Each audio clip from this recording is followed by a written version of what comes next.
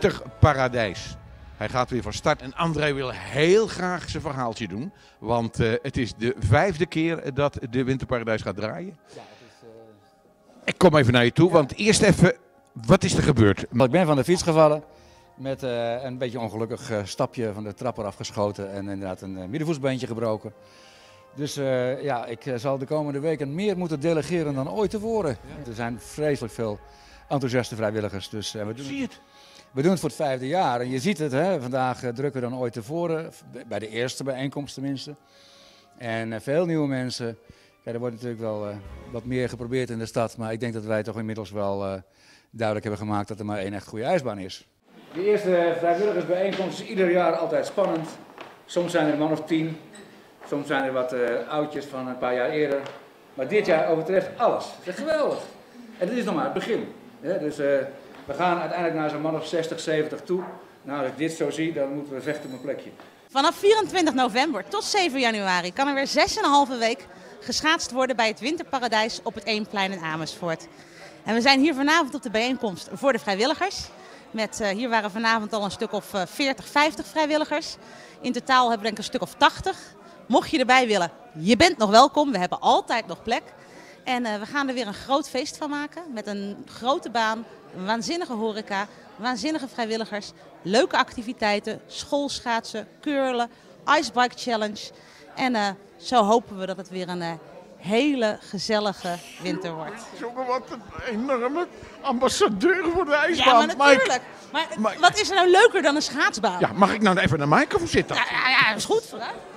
En omdat het de 15 jaar, het 15 jaar is, hebben we heel erg geluisterd naar wat we in het verleden aan commentaar of aan opmerkingen kregen. En dus vinden we het ook heel erg belangrijk dat we wat meer aan de uitstraling en de buitenkant van de tent doen. Dus ook dat zal heel erg aanpassen.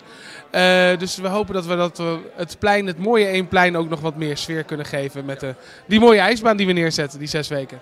Kijk, ik vind het veel belangrijker dat we eh, voor de stad Amersfoort een baan kunnen bouwen die groeit en die blijft groeien en die steeds beter wordt. En dat zullen de mensen dit jaar ook eh, absoluut gaan zien. Ik ben heel trots op eh, wat we dit jaar gaan doen. En ik denk dat iedereen inmiddels ook wel zal begrijpen dan dat je natuurlijk maar in zo'n stad als Amersfoort niet twee of drie ijsbanen kunt, eh, kunt hebben.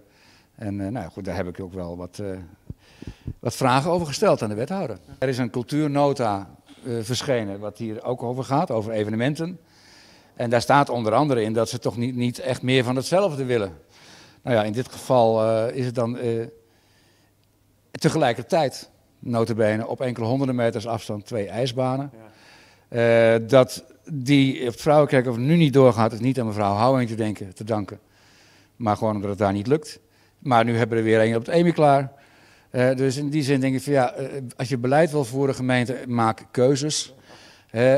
Ik bedoel, ik heb alles gesuggereerd van eh, als u aan iedereen maar vergunningen kunt geven voor een ijsbaan, dan wil ik graag een tweede vergunning voor een kermis.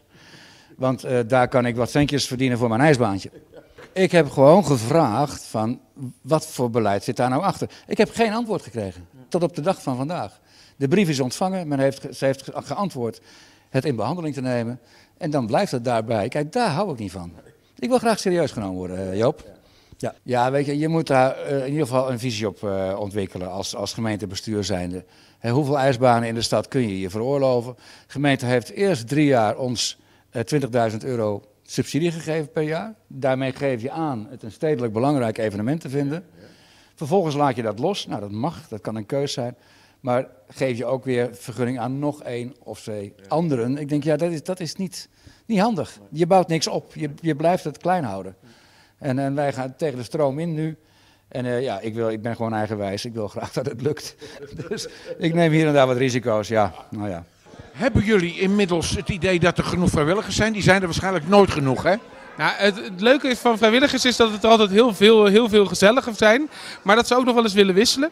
En dus kunnen er eigenlijk nooit genoeg vrijwilligers zijn. Want ja, uiteindelijk maak je met zo'n team van vrijwilligers eigenlijk de sfeer op zo'n ijsbaan voor de bezoekers en voor jezelf. En dat maakt het eh, leuk om daarbij te horen. Dus meer mensen, meer vreugde. Hij wordt eh, anders gesitueerd, hij komt beter op het plein te liggen. Er blijft meer ruimte aan de zijkant over om er langs te gaan.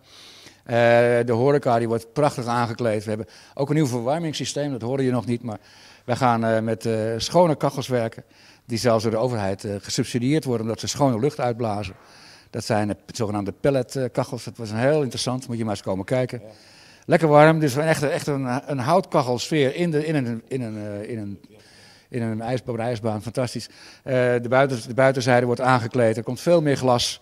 Dus ik denk dat we uh, alle kritiek die er geweest is vorig jaar op het uiterlijk van de ijsbaan op het Eemplein nu in de kiem kunnen smoren. Ik heb hier een ijsmeester.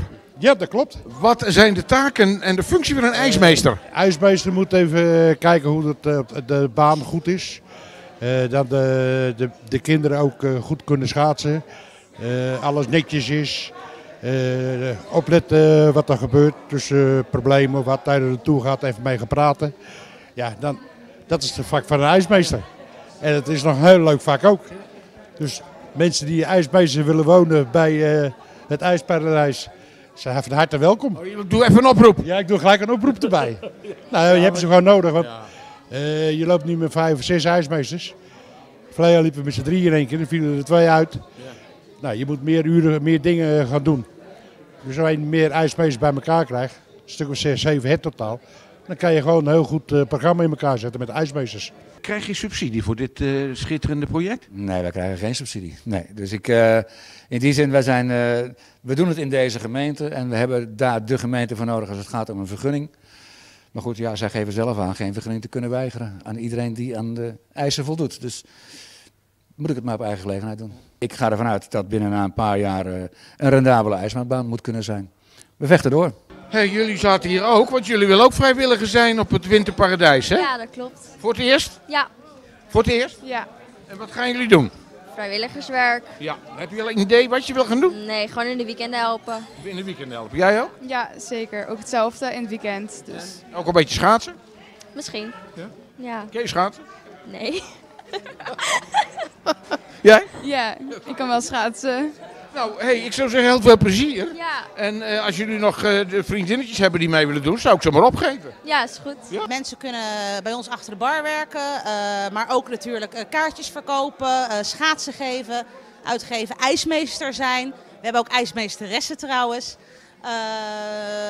Met, helpen met toegangscontrole. Er is echt van alles te doen.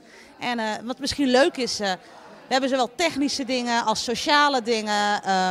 Uh, onze jongste vrijwilligers zijn uh, 14 jaar en onze oudste zijn, uh, is 79. Dus het is ook echt een heel divers gezelschap. En ik, vind, ben ieder jaar zo waanzinnig trots dat het lukt om met z'n allen gewoon weer ja, 20.000 mensen schaatspret te geven. 20.000 man. 20... Haalbaar? Uh, met gemak. Ik denk dat we er dit jaar overheen gaan. Er is geen ijsbaan op het Lieve Vrouwenkerkhof, uh, helaas. Uh, dus ik denk dat we daar nog wat extra van meesproeken. Want zij hebben er natuurlijk wel voor gezorgd dat mensen nog meer van schaatsen houden. Dus, uh, dus uh, inderdaad, uh, afgelopen jaar hadden we zo'n 20.000 bezoekers. En het wordt dit jaar nog groter en leuker. Dus, um... Ik heb hier ook twee vrijwilligers, of vrijwilligsters. Ja? Wat ga jij doen? Ik uh, ga in de horeca uh, meewerken. Geen biertje tappen? Zeker. En een tosti maken? Ja, ook. Ja. Leuk hè? Ja, zeker. Okay. En jij gaat? Ja, ik ga ook in de horeca. Ah. Wil ik proberen. Soep roeren? Ja, dat waarschijnlijk. en, maar een biertje tappen ook? Nee, dat niet. Ik ben nog geen 18. Oh, wacht even. Hoe gaat dat? Uh, ben jij wel 18? Ja, zeker. Oh, jij mag dus een biertje tappen? Zeker. En jij mag nog geen biertje tappen, maar de frisdranken. Ja, dat mag wel. En koffie en zo. En koffie. En uh, een gluwijntje inschenken, mag dat ook? Nee, denk ik niet. hey, heel veel plezier hè? Dankjewel. Heel veel plezier. Ja, bedankt. Okay. Jullie hebben de baan een beetje aangepast. Kun je dat heel kort schetsen? We hebben de uh, horecatent iets kleiner gemaakt en de ijsbaantent iets groter. Waardoor we eigenlijk nog meer ijsoppervlakte hebben. En die extra ijsoppervlakte willen we in de toekomst gaan gebruiken om een, schaats, of een glijbaan te maken. Dat kan helaas dit jaar waarschijnlijk nog niet gerealiseerd worden. maar daar zijn we al wel op, daar zijn we al wel op ingesteld. Uh, wil je meehelpen? Je bent van harte welkom. Wil je komen schaatsen? Je bent van harte welkom. Ben je deze winter jarig en wil je een leuk uitje hebben? Dan kun je natuurlijk met je kinderfeestje komen schaatsen. Uh, wil je een leuk personeelsuitje met de personeelsvereniging of wat dan ook? Wat is er nou leuker dan op een schaatsbaan lekker borrelen terwijl de kinderen schaatsen? Um, wil je, uh, hou je van live muziek? Dan moet je op de zondagen komen en hou vooral onze website en Facebook in de gaten, want... Dat is... Welke is dat? En ze vergeet nog een hele belangrijke trouwens. Ben je nou een leuk bedrijf en denk je, hé, hey, ik wil die ijsbaan graag nog een beetje helpen in wat de mooie dingen die ze doen, dan mogen ze ook nog wel een beetje sponsoren, want die komen helaas ook nog ieder jaar een beetje tekort. Eh, de website is www.winterparadijs-amersfoort.nl En eh, op Facebook zijn we ook te vinden via Winterparadijs Amersfoort. Heel veel schaatsplezier. Dankjewel. Dankjewel. Eh, wij hebben een bedrag ter waarde van 772,95 euro. Zo. Kijk eens aan. Dat is altijd welkom. Wat leuk.